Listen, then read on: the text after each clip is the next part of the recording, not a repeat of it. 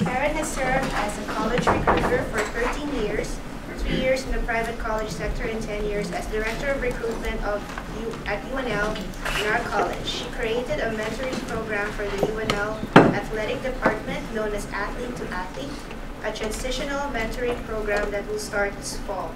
She teaches a 300-level multicultural education course for pre-service teachers for nine semesters at Nebraska.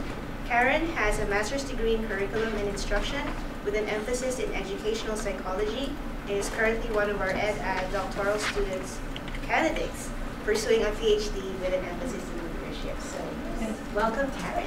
Thank you, thank you. Well, well, well, well. Oh my goodness, as I was watching all these wonderful presentations, I noticed that all of us had the same experiences. It is so awesome to see that I wasn't alone because this next slide is going to make you think I was alone. That's how I felt when I started my dissertation. I felt like, oh my goodness, are you kidding me? Am I the only black kid in the classroom?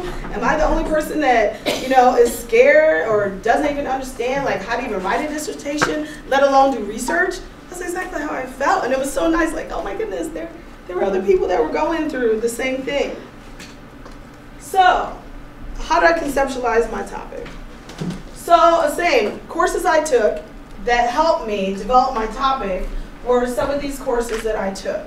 In my first research class, I did a study um, about student leadership because I love students and I love leadership. So I did a study with five other students and we did a phenomenology. And I can remember being in that course, I was like, what? And I would think I was the only one that said this, but everybody kind of agreed, you know, agreed. I said, what's a phenomenology? And the kids looked at me like, hee hee hee, like she don't know. I was like, yeah, y'all don't know either, okay? So don't try to play me. So I didn't know. So it was really good to take that first course. I did a we did a study on uh, new student enrollment. And uh, there were five of us. We did, we conducted interviews. We didn't have to get IRB approval. Um, but one of the students, she wanted to use it actually for her master thesis. So hooray, smart girl. Who was that who just got up here? He said, know your topic early. So that was fantastic. So I did that in my intro class. So after doing that study, I was like, I don't like phenomenology. It, kind of boring. So I moved on to narrowing my topic. So I would suggest in your research classes, as you take them, just like everyone said, start doing studies that you think you might want to do because that's going to help you narrow your topic. I evaluate um, articles. Read, read, read, read, read, read. Like eat those articles up, all right? And I'll give you a tool to help you keep track of those as well. Look at studies that you can duplicate. Look at what other researchers have done and said, oh, we should have done more of that. Do that, because that might be a study that you can do. Add on to someone else's research. In my advanced qualitative research class, I, that's when I figured out, Dr. Creswell, you're the man.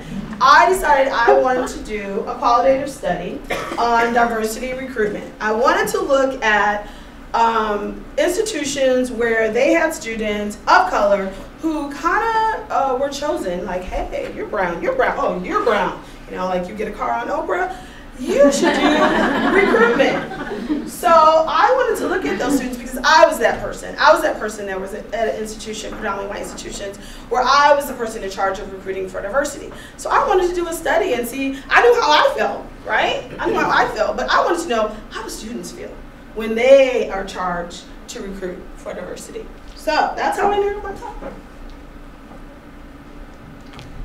This is a sample of uh, Eva Bachman, who knows Dr. Bachman? Anybody know Dr. Bachman? Yeah, she, you all should know her. If you're in graduate school at UNL in Nebraska, you all should get to know Dr. Bachman.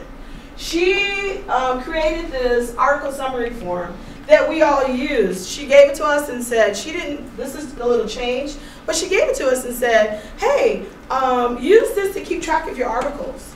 Um, and you know, I was back in the day, so use this to keep track of your articles so that you can go back to it. You have your citation already done. You have uh, a summary of each article that you've read. She created this. And she said, now tweak it how you want and share it with whoever you want. How many of you in this class I've given it to so far? Thank you, ma'am. Oh, two, yeah. Uh, but you're going to want it, right? No, I have it. You have it? Susie Carter, you were part of Susie, yeah, Susie, yeah. Mm -hmm. So it was a group of us that took that and Eva gave it to us and we like just changed it. So it's a great resource. resources, I talked about, um, everybody talked about resources, about, you know, talking to your instructors, talking to your chair, talking to your committee members. I have a mantra. I have this mantra, and it's called respect the process.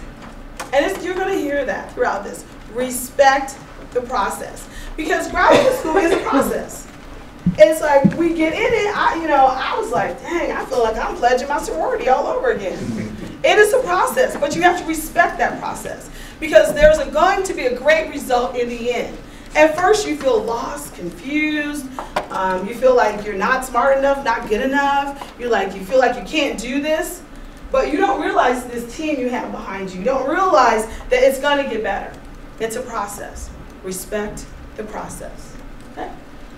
So I talked about, you know, um, attending workshops. I went to writing workshops. I uh, read the narrative inquiry by Clandinin and Connelly. That was my Bible because I did a narrative, qualitative narrative study.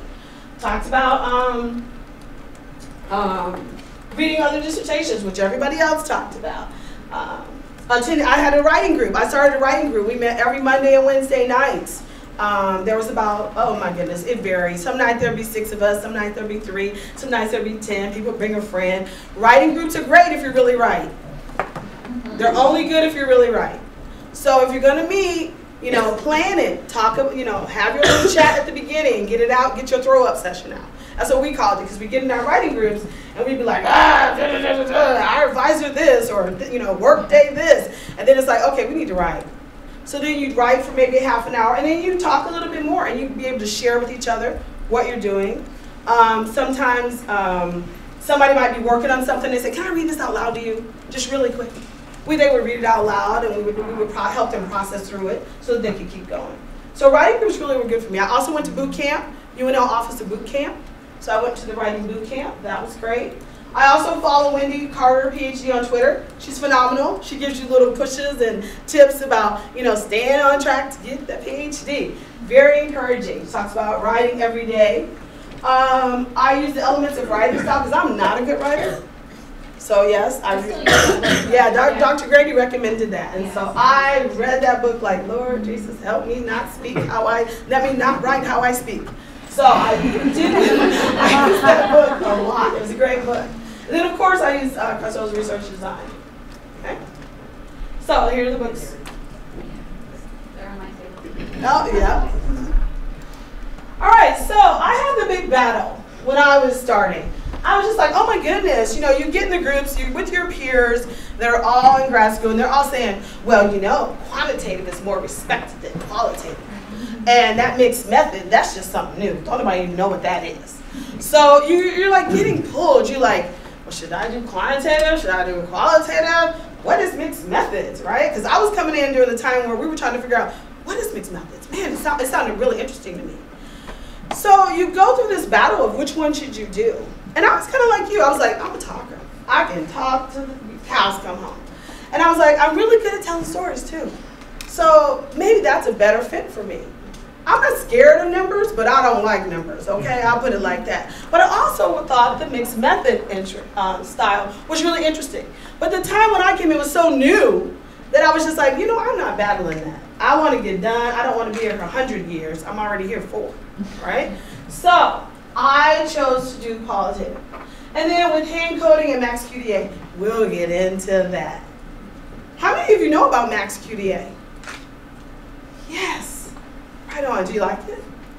Yes. Great. All right. So, like I said, I decided. I conducted 20 interviews. Um, and I paid to have my transcriptions done. Where's my guy? He left. Uh, yeah, there you go. I paid to have mine done. Yes, thank God. Because I um, actually did my own um, for one study so that I could get that feeling. But I work full time. I was like, are you kidding me? 20 interviews? No, somebody else is going to do it. But I listened to the audio tapes.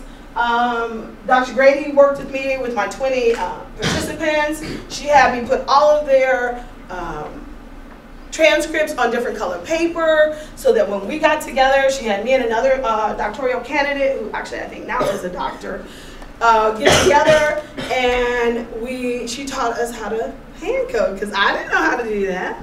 So it was great. She spent the evening with us and we worked on that. It was great. So, um, and that was funny too. That, that's, we'll get on. So there, my old school tapes. So I did, I was so paranoid. I did the old school tapes, right? 20 people. I did the new school too. And I also did video because I was all nervous. Like I didn't know. I was like, okay, I'm doing the tapes. I'm an audio tape with the recorder, and then I'm gonna videotape you as you're talking, so that since I'm gonna tell a story, I'll be able to look at your gestures and your how you spoke and what you did to maybe write my story really good. Crazy, overdone, but I'm glad I did it. And my Bible. So here is my pinata. I know, right? So this is my hand coding, right? So I, one of the ladies who was in my um, writing group, uh, Teresa uh, McKenna, she would come to our sessions, writing group session, and be like, girl, what is that hot mess? And I'm like, shut up, this is my hand coding. You know, Grady taught me how to do this. Are you kidding me? What are you talking trash? She was like, girl, have you not heard of Max QDA? I was like, yes, we that those people came and spoke in Dr. Creswell's class and yeah, it sounded really interesting, but I'm, I'm, I'm doing it this way. Dr. Grady, I'm doing it this way. Are you kidding me? Dr. Grady said do it this way, right? So, my hand coded there. So, like I said, Teresa, so she started calling my data my pinata. She was like, oh, that's Karen's pinata. So every time I would come, she was like, so how's your pinata doing? How are you in your pinata? I'm like, shut up, my pinata's working. Don't play. Right? Then I started thinking about it. I was like, you know, I probably should try this new technology, Max QDA. So I stopped coding this way, and I went to Max QDA.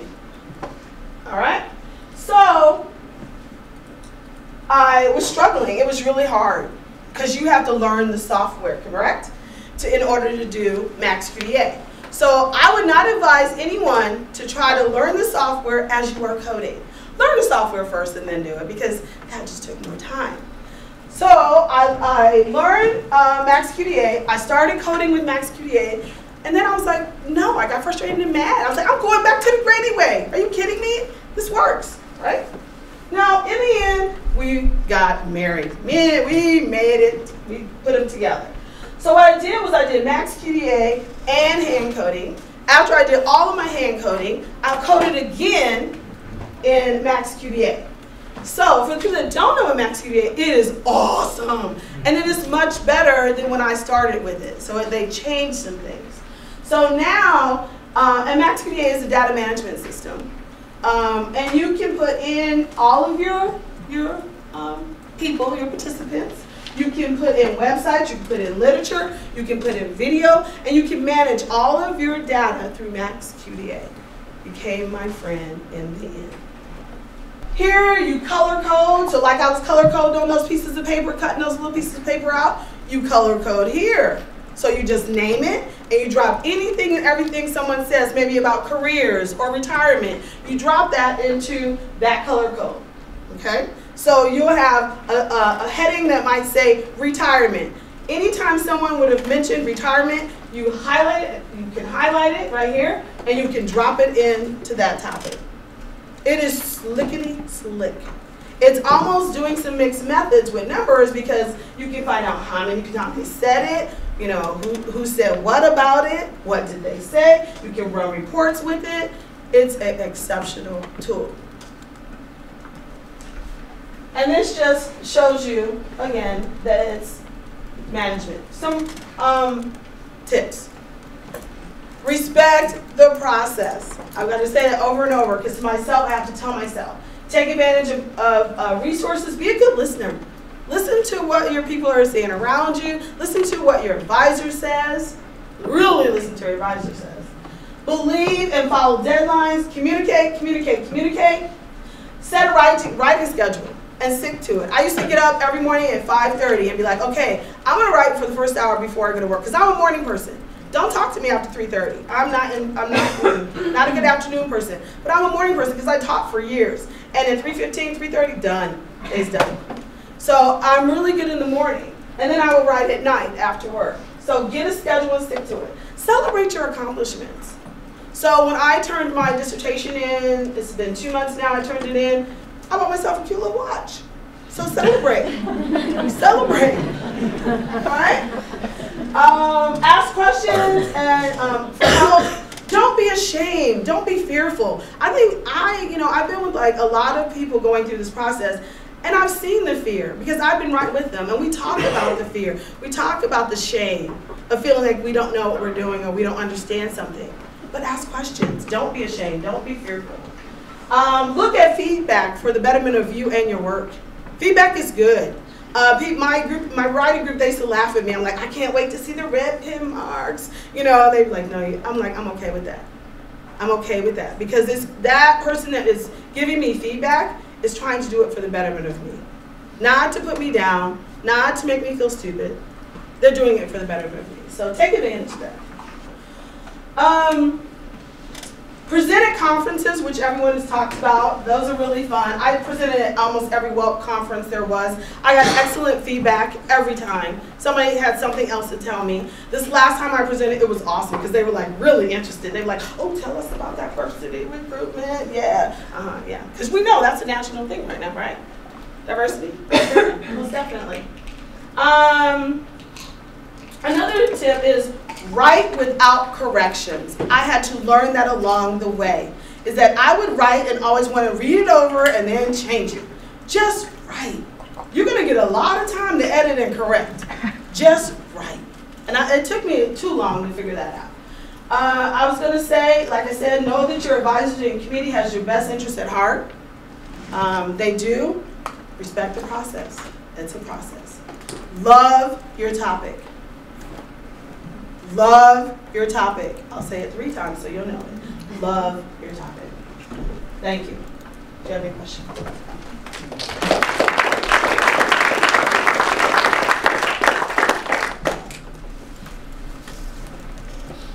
Questions for Karen?